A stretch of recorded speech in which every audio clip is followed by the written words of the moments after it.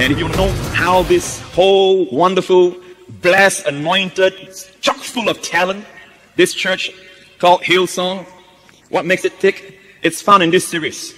I mean, Brian is so transparent. I understand you, you preach this from your, your staff meetings.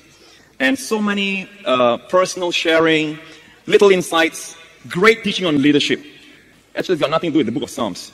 He takes a verse and then he preaches whatever he wants to preach. All right? But it's a, it's a series on leadership and pastors and leaders. I highly recommend this series. All right? Praise the Lord. You ready for the word?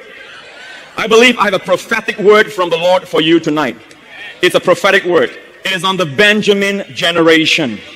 You know, the book of Genesis. Yeah, they are here tonight. The Benjamin generation, the young generation. You know, God put it in my heart before I came for this conference that tonight He wants me to share this prophetic word during a time of famine when God releases Benjamin before Joseph. There'll be bread in the land. There'll be revelation. There'll be health and healing flowing in the house of God. Hallelujah. Because the Benjamin generation is here. And Joseph said to his brothers, there'll be no more bread until Benjamin stands before me. Now, the book of Revelation is the seed plot of the Bible.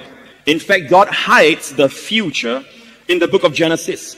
If you want to see what's going to happen in the future, in fact, the days we are living in, you can see it in the book of Genesis. How many are glad that you don't belong to the 10?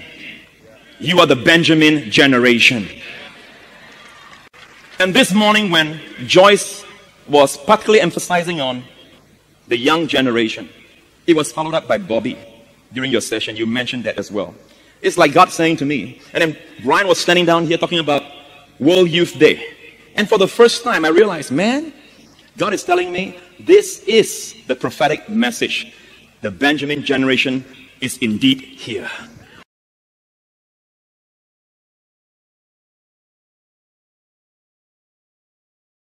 Benjamin is a ravenous wolf, in the morning devouring the prey, and at evening dividing the spoil.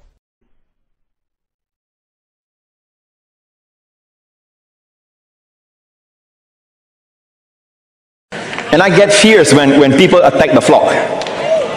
Amen. If you are a shepherd, feed. Don't be a wolf.